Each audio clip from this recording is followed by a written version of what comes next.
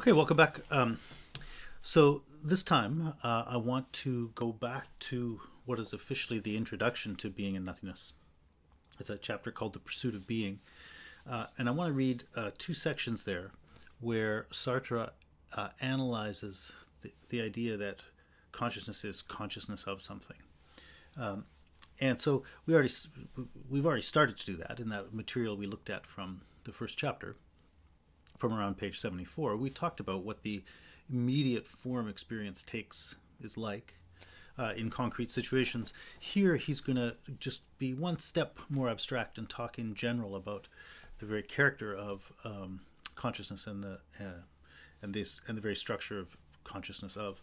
Uh, so I want to start um, uh, by reading something from page 11.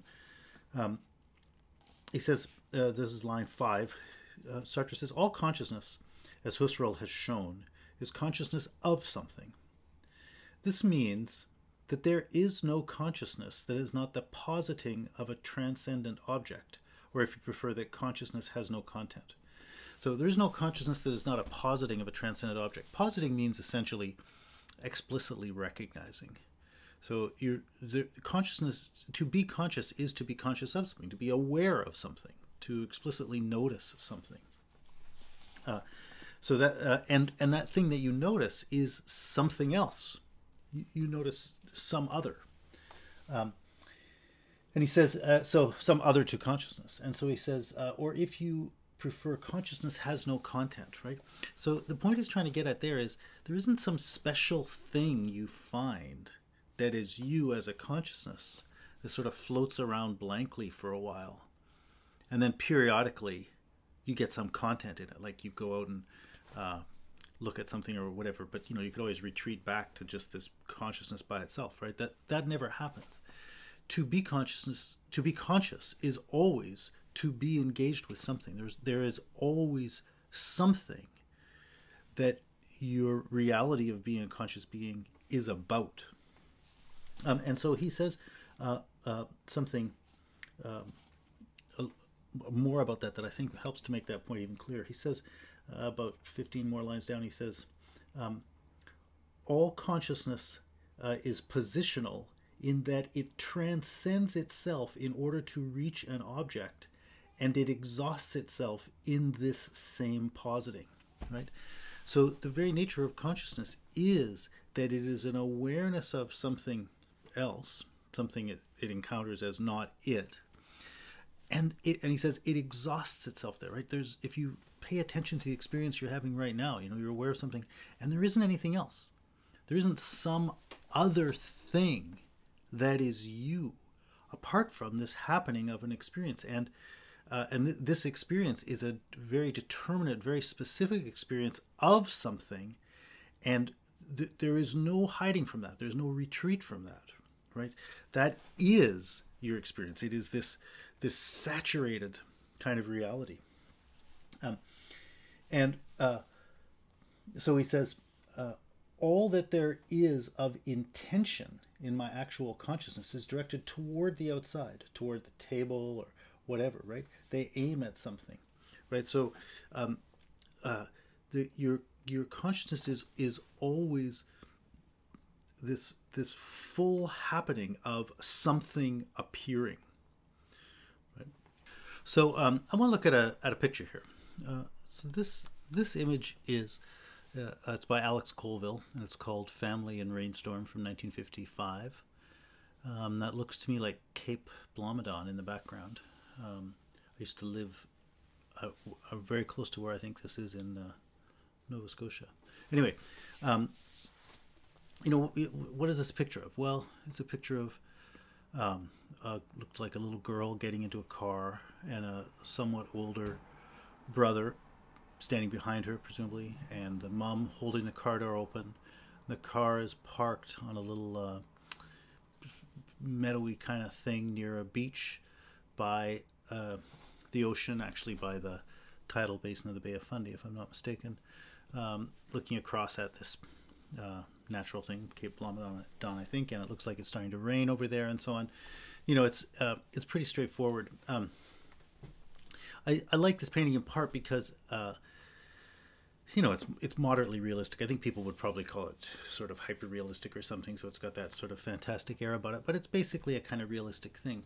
Um, and you can say, you know, what it is. Um, so the thing that I want you to notice about it is that, of course, it is a picture of mom and two kids in a car and so on, but but it really does give you the sense of uh, what the person. It's almost like a photograph, and you get a picture of what the person taking the photograph would be seeing. In other words, yes, it is a picture of some people and a car and a natural setting, but it also seems like a picture of a perspective, and it's the perspective of you know someone who is there with them looking on at them uh, and that's the thing that i think is interesting because this picture then uh, in addition to being a portrait of something real is also a portrait of what it's like to have an experience of something. This is a portrait of what it's like to be you at any moment right? At any moment you yeah i mean you're not seeing your wife and children getting into your car in, in Nova Scotia, but you're seeing something, something like this, right? And if we ask, you know, let's imagine this is a portrait of uh, Alex Colville's own uh, perspective on his family. I have no idea if it is or not, and I don't care, but let's pretend it is. Um, uh, uh, th- that's that's a picture of of what his reality as a conscious being is like at that moment right that's that's uh, how he exists he exists as the seeing of this and you know the, the picture because it's a painting can really only give you sort of the visual domain right um, so uh, you know there are other things that would be going on with him that aren't exactly conveyed here although they might be implied you know like he he would be seeing this but like the guy the the merchant who's fleeing from Jesus in that Luca Giordano painting I looked at last time. Uh, here, you know, uh, there's going to be a lot of feeling involved. Like the, that merchant probably was feeling anger and maybe some fear with respect to Jesus. Here, you know, this guy might be feeling love, or who knows, maybe he's feeling alienation and estrangement. It's kind of a weird picture. So maybe this is a picture of a guy who's, uh, I don't know, maybe he's about to murder his family or something. I don't know. But anyway, like like the uh, like the that merchant in the Luca Giordano painting who's uh, experiencing anger, let's say, or fear as as Jesus is coming down at him with a stick. The the the person having this experience here would also be having this visual experience in a in an emotionally charged way, and that person would be hearing things too, right? So there'd be a lot of other stuff going on as well. So so in that sense, uh, this painting, because it's painting, is kind of restricted uh, to showing consciousness in its visual dimension. But then nonetheless, it is it is fundamentally a portrayal of consciousness. And and what it really shows you is that the way you exist is being exhausted in the object that transcends you, right? You exist as an awareness of something. And that uh, that thing you're aware of is something other than you, something that that uh, is you know kind of real thing in the world or whatever um, and there isn't something to you other than that rich fullness of your experience of that stuff there isn't some other part of you or some place where you are happening right um, so so i'd like you to look at this picture at, at, such that you notice it is simultaneously a, portray- a portrayal of the real and a portrayal of someone's experience. And so, insofar as it's a picture of someone's experience, it's a picture of someone who is aware of this, right? That's what it means to be conscious of it. But now Sartre makes a kind of important point on page 11. So he's just been saying that all consciousness is positional in that it is of an object. So there's a way in which you're you're knowing. Uh, but he says then, this is about a dozen lines up from the bottom of the page. He says, however, the necessary and sufficient condition for a knowing consciousness to be knowledge of its object is that it be consciousness of itself as being that knowledge. The point he's trying to make is a good one, right? The, the, the very idea of being aware of something is that intrinsic to that is this, this idea that you're, you're aware that you're aware. Like that, that's what it means to be aware. Uh, but the, the point he wants to make here is um, in saying that you have to be aware of your awareness, that's not the same as saying that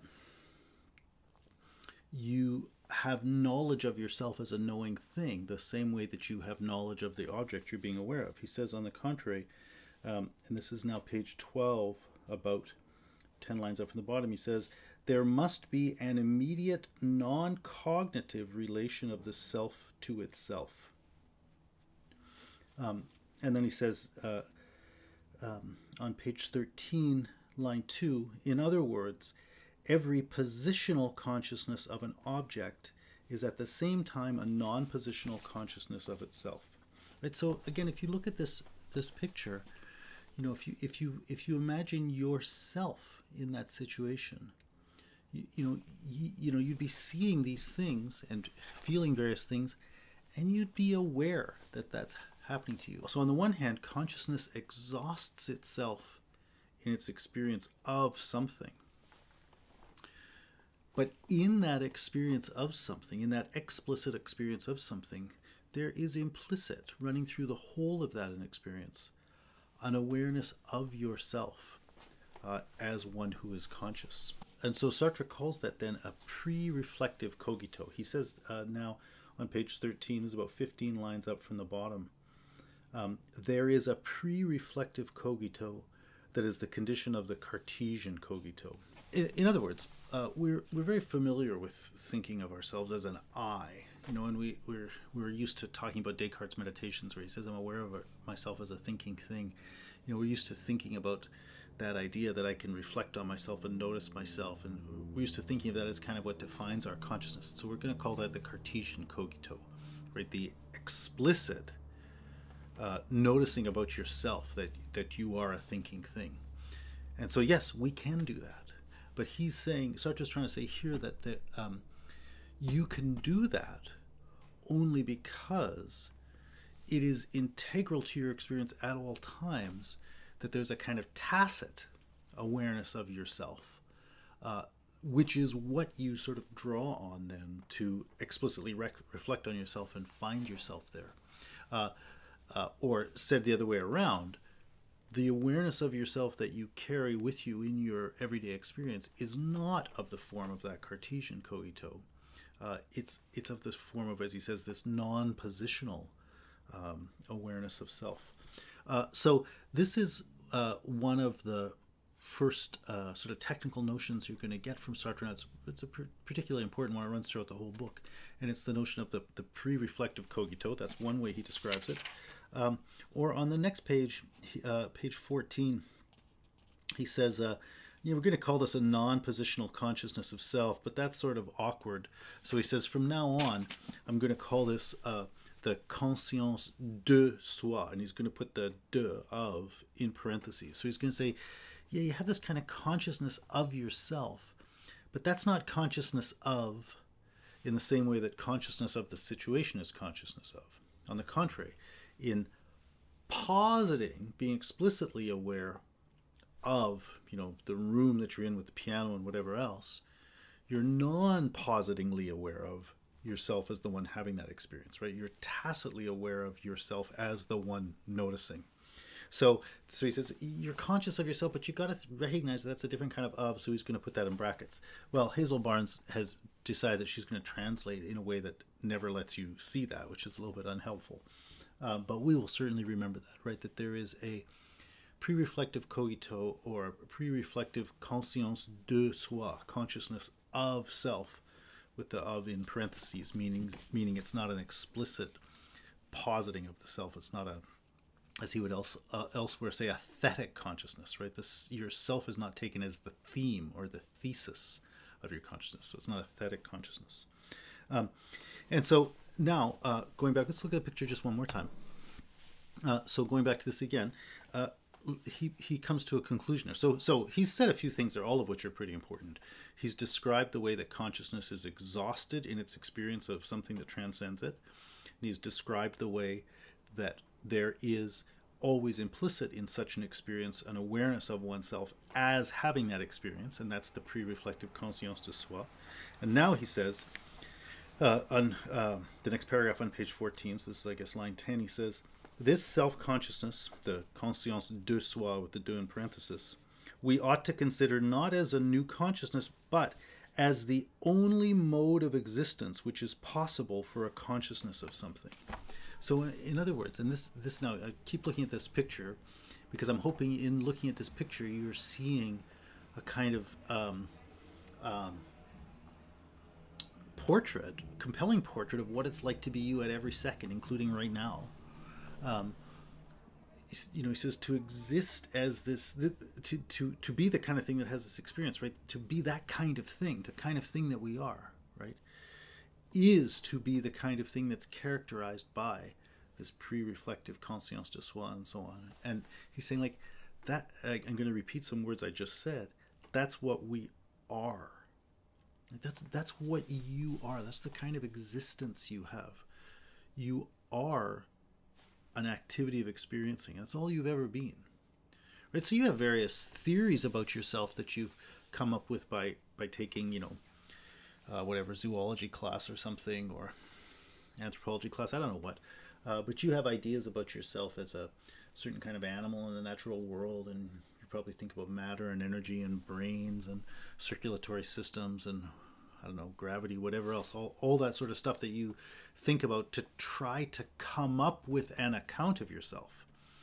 Right? But those things are all secondary. Those are all efforts you and other people have made to try to explain something. What is it that you're trying to explain? Well, you're trying to explain the uh, the basic fact of your occurrence. And you are occurring right now, and you occur as this activity of experiencing, and you've never occurred as anything else. Right? And so it's important to remember that all those things, you know, the zoological, anthropological, physical, whatever else things you think about, those are all um, interpretations of this original fact or theories about this original fact. Right? So they might or might not be right. They might be right, but they might not be. And you know whether they're right or not doesn't change the fact that you are and always and only have been this active experiencing. And so let me read that sentence again. He says, This uh, conscience de soi we ought to consider as the only mode of existence that's possible for a consciousness of something. And this is how we are, this is how we exist. And so, um, you know, remember the subtitle of the book, right? A phenomenological essay on ontology. Um, so I would talk a little bit last time about what it meant for it to be phenomenology. Uh, my point here now is this is why he's talking about ontology. he's talking about what kind of reality that thing we commonly call a human being is. What kind of reality you are. What kind of reality I am. I say that kind of thing we call a human being because you should recognize that that language of a human being is already one of those modes of interpretation. It's got a lot of uh, theoretical baggage attached to it. It's built in. It, it comes from various kinds of discourses and ways of analyzing things. So you're already thinking of it as basically, you know, a zoological species and so on. Um, but so yeah, maybe you're a human being. Maybe that's right. Uh, but primarily, what you are, what you indubitably are is this active experiencing. And and that's the way he's describing it uh, the conscience de soi and so on. That that issue of ontology is important because we're going to go on to talk about being a little bit later. Um, but uh, so he's going to uh, so i'm going to go on and read one more thing now about consciousness of but i want to say one more thing while still looking at this picture. Um, and so Sartre says, you know, what is this kind of being? What is this kind of existence we're talking about that we have? He says, well, we're, we're going to say that the kind of thing you are is a being for self, right? That's the kind of reality you have, being for self. And what that means is uh, you're a being for whom something is happening, right? So if, if on the one hand you're always conscious of something, well, that's all. That's the same as saying something is always happening for you.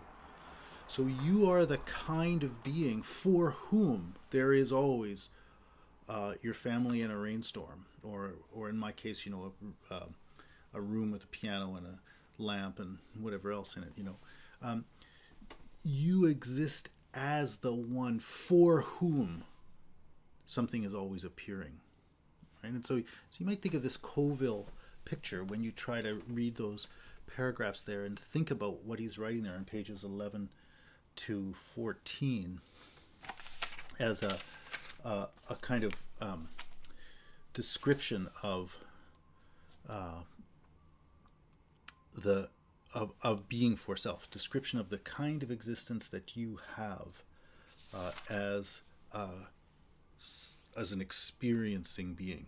Right. Uh, okay, so let's now uh, let's move on from there to uh, one more passage. Uh, so now let's go to page 23. So here again, he's going to st start off page 23 um, about uh, 15 lines down or something like this. Again, he says consciousness is consciousness of something.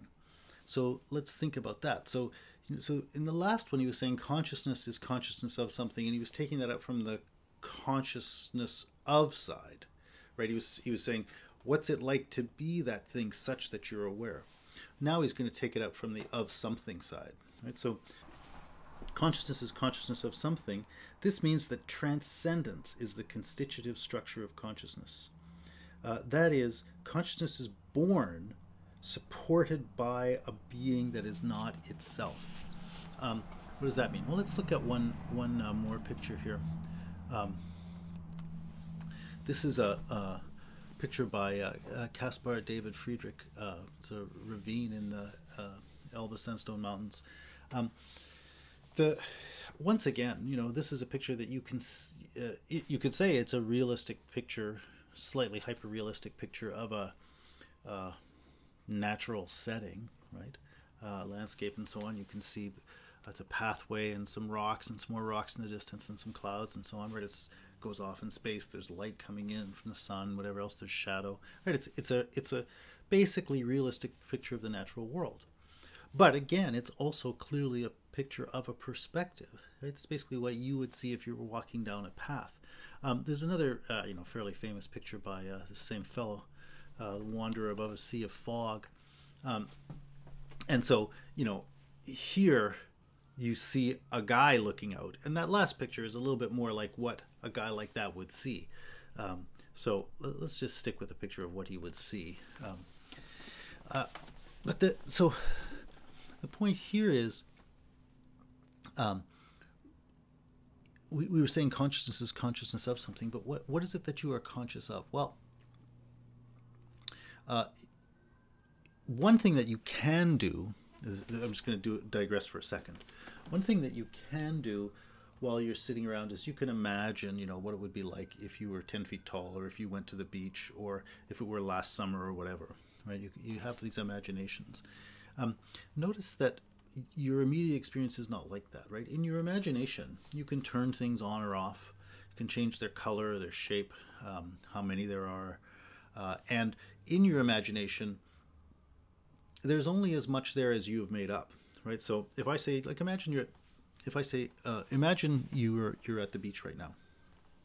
If I ask you the question, you know, how many people are there beside you, or if I say, what temperature is it, or if I say, you know, what color is the sand? Or if I say, are there any trees, right?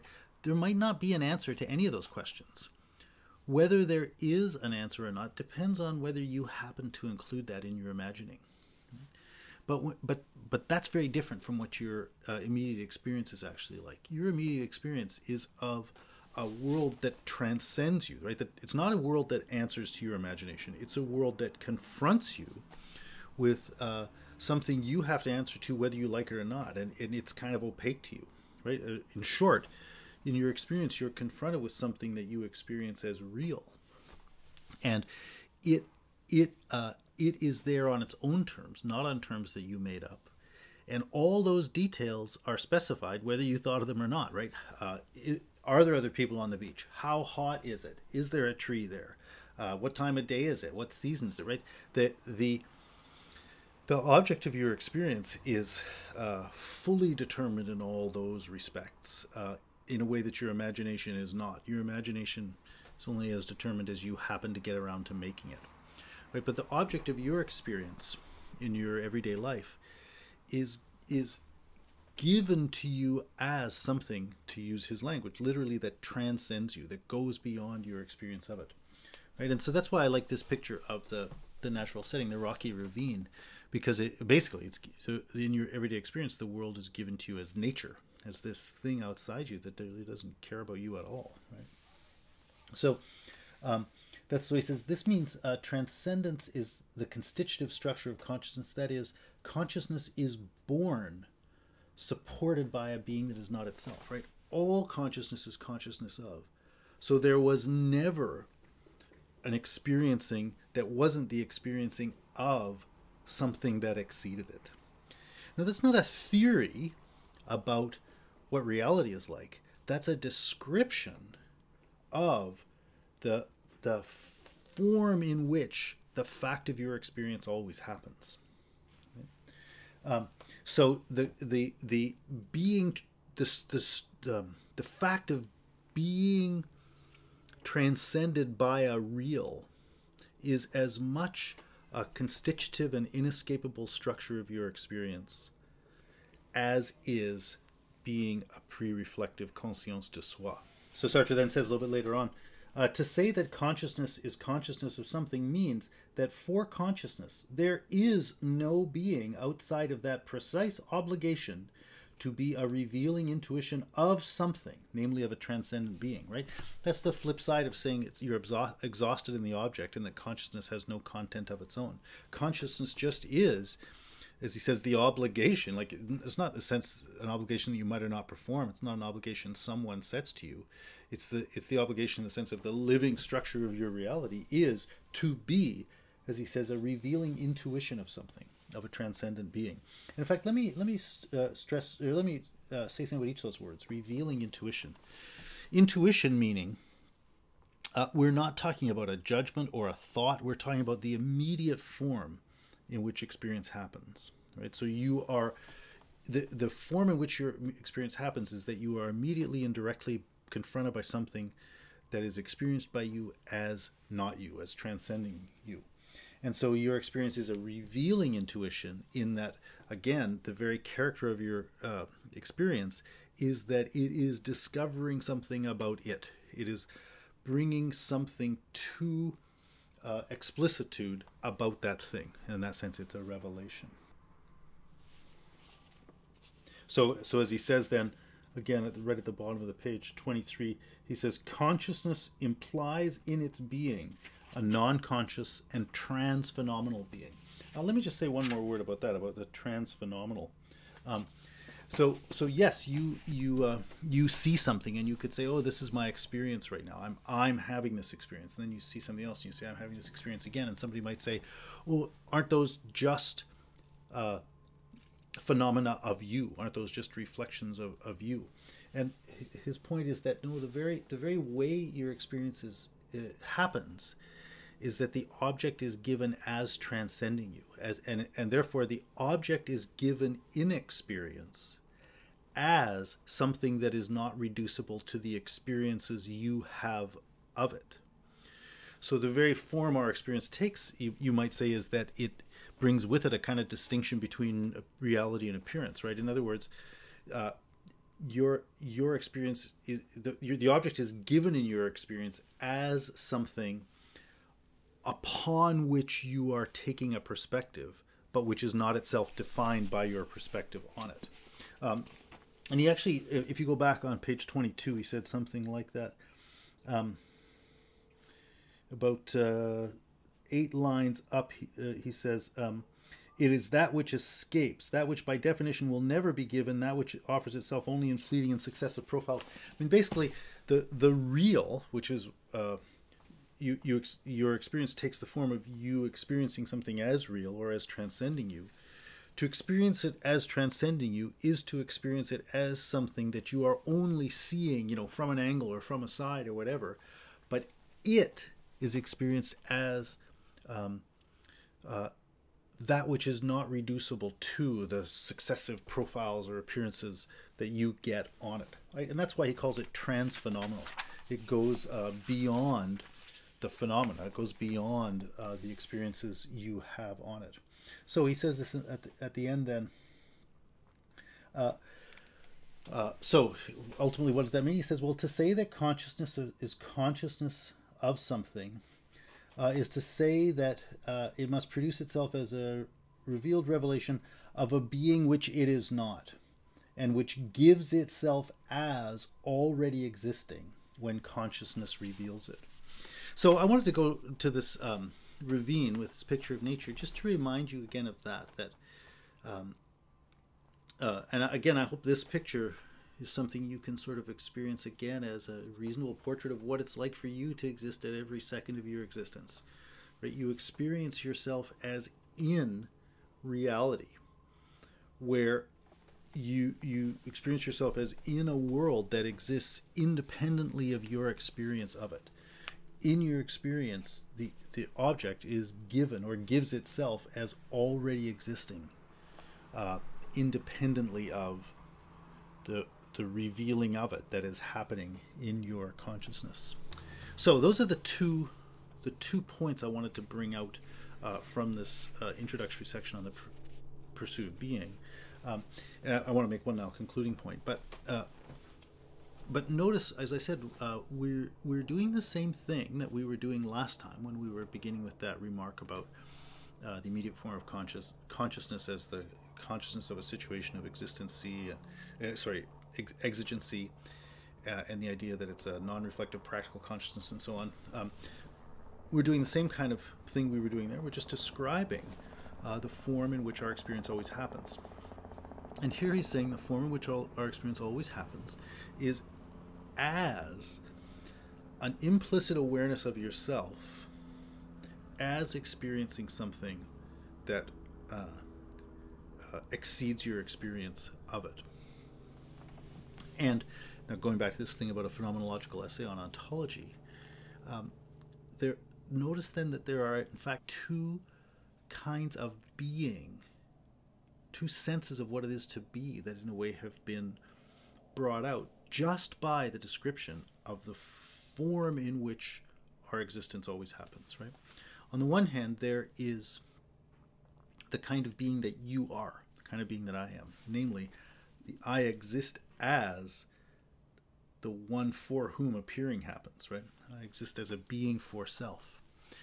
But to be a being for self is to find yourself as the revealing intuition of something that is given as as transcending you, right? Uh, the real, basically. Well, that uh, is something that is experienced as existing on its own, independently of our perspectives on it, and so on. As you know, I've been using the word "real," like it's, it's, it's what we normally think of as reality. Well, Sartre says, okay, so how do we think of that? Well, and he's got a whole section on this uh, that we're not going to bother reading. But he says, you know, when we're talking about the kind of reality that we impute to the ob- object of our experience, right? The kind of reality that is the intrinsic meaning of how the object of our experience is given in our experience. We call that being in itself. Um, and so, in our in our experience, we experience ourselves as experiencing something that is real on its own and not defined by our experience of it. And so we we we experience something that we call the real and you can look at the last, you know, 2500 years of philosophical writers trying to define and describe what the real is like. And the, and he's summing that up in the expression being in itself. Like it and he says, you know, it is. It just is. And he sort of um, more or less quotes uh, Parmenides there almost when he when he talks about it. it that is, and you can't say anything more about it. Um, so, our experience is then, uh, it, remember, a phenomenological essay on ontology. Our experience is kind of an uh, awkward confrontation of two different senses of what it is to be. Our experience is kind of a confrontation of the kind of reality that is experience itself and he's later going to go on to say um, that he's calling that being for itself, and he's later going to go on to say being for itself is uh, that which is not what it is and is what it is not. Uh, we probably will talk about that, and I'll probably explain it, but uh, whether or not I do doesn't matter. The, the point is just he, he's going to describe it in those words, and you can see that's very different from that of which we have experience which we experience as something that just is what it is. So experience is then the the confrontation of uh, a being that is what it is not and is not what it is with that which is what it is. Um, he's he's trying to show you that those. He, so he's calling that ontology. He's talking about two different kinds of being, but he's trying to show you that those are uh, meanings intrinsic to the very fact of the happening of consciousness.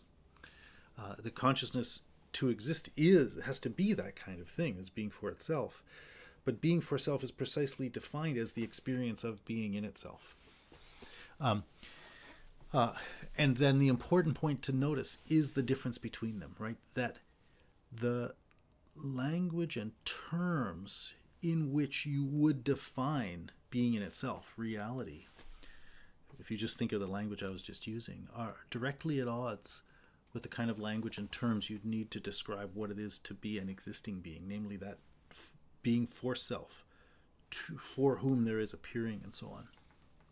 And um, the reason that I'm bringing that out and the reason it's important for that to come up here is one of the things Sartre is going to uh, try to emphasize in a way throughout the book is that we consistently make quite profound mistakes in our lives because we use concepts and categories that are appropriate for being in itself, that are appropriate for the reality of which we find ourselves having experience we use those concepts and categories to try to interpret and explain our own existence. And so we, in a way, misconstrue and misinterpret being for itself as being in itself. Um, so uh, that's that. I don't think I don't when I anticipate what I'm going to say. Uh, I don't expect that I'm going to thematize or you know explicitly focus on that issue too much, but I mention I might, uh, but I mention it here because that's really the the way he kind of wants to launch this by saying uh, the thing we do wrong is that we um, mistake our own way of existing, the the kind of thing that we are, namely being for itself. We mistake that for being in itself. Um, or, in other words, we use the categories that are appropriate for the object of our experience to try to make sense of ourselves as subjects. And in that sense, we really get things wrong. Um, so, uh, that issue I'll leave for the moment, but it's going to come back again right away next week, uh, next time when we talk about anxiety and freedom and so on. Um, but I'll just I just give you those terms now because I really just wanted to get you through the introduction, uh, and so I really want you to just get those points that all consciousness is consciousness of, and that means consciousness uh, just is exhausted in the experience of a transcending object, but even though it exhausts itself thereby, it is also characterized by an implicit awareness of itself, which he calls the pre-reflective cogito or the pre-reflective conscience de soi, consciousness of self in parentheses. Uh, and that kind of existence of, of, subjectivity, you might say, is being for itself. Uh, but that consciousness of an object is a consciousness of that which is given as not defined by our consciousness of it. It's given as transcending us. It's, so our consciousness takes the form of being consciousness of that which is given as being in itself. Uh, and being in itself is that which just is what it is and then the point I was making, the categories appropriate to that are not appropriate to being for itself. The categories of the object are not appropriate for understanding the reality of being a subject. Um, I'll leave it there for now, uh, but I hope that uh, that, coupled with the earlier stuff from pages 74 and so on, uh, is enough to give you a start at uh, Sartre's project of describing what it what our experience is and what it's like, how it unfolds. Uh, and we'll take it up from there. We're going to go back uh, into chapter one again, that chapter called The Origin of Negation, and, and look at a few different things there.